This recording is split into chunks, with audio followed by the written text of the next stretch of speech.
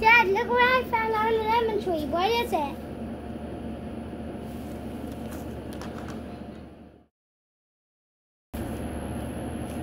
Will's a caterpillar.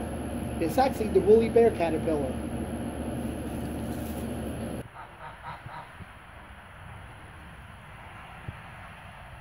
Do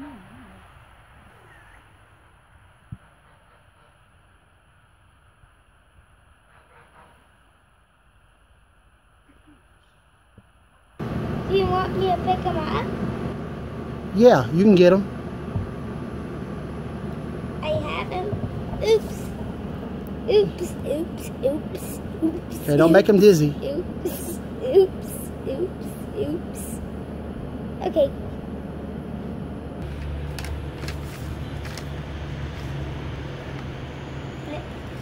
You trying to get off of my arms? Will, that caterpillar is the woolly bear caterpillar. These caterpillars are native to North America and are very common to where we live at in Florida. Dad, do they call it the woolly bear because it has a woolly looking coat?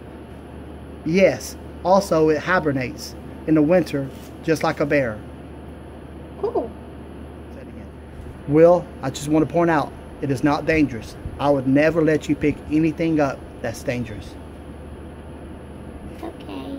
I probably know that because my dad. What do they eat? They eat leaves, mostly from broad-leaved trees and plants like mulberry, citrus, magnolia, and azaleas.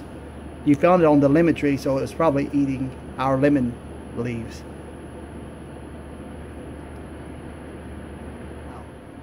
Dad, why did it curl up like a hedgehog? It curled up to protect itself from predators. It probably thinks we want to eat it. Do the bristles feel like a brush? Mm-hmm. Kind of like a toothbrush. Yep. I hope it turns into a big moth. Yeah, we'll put it back on the tree, and eventually, when it eats enough food, it will make a cocoon and hibernate. Then later, when it breaks out of its cocoon, it will turn into a beautiful moth.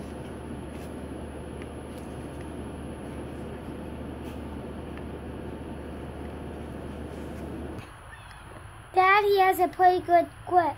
I'm going to put him back on the lemon tree.